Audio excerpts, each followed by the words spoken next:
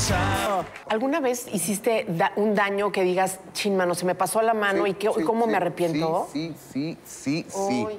Y te daba como cargo de conciencia y así como... Por supuesto, fíjate, un día con Adolfo Ángel, el temerario, le secuestraron a su papá.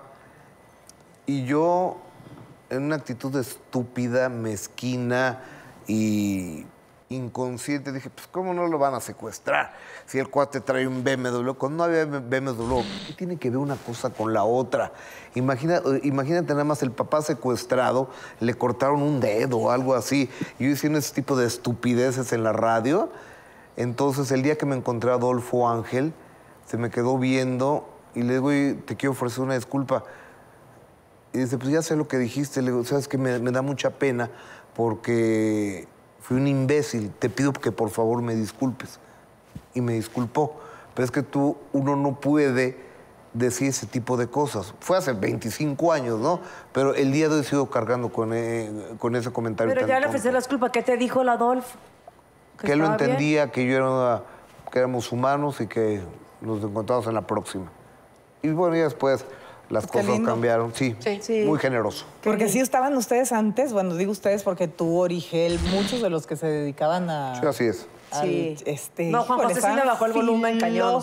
No, ¿cómo no? A nosotros nos tocaron puta, aguantar vara, ¿verdad, Yolanda? Sí. ¿Qué dijeron de ustedes? Muchas cosas. Cuando al No, tú principio, también no. muchísimas cosas.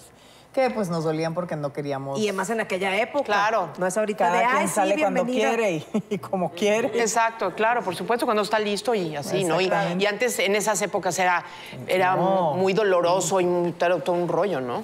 Claro, y de pronto, pues la vida, como dices tú, ya con hijos y ya con todo, pues es La diferente. vida cambia, o sea, ves otra perspectiva de la vida. No sé si te haga mejor ser humano, pero te hace más humano.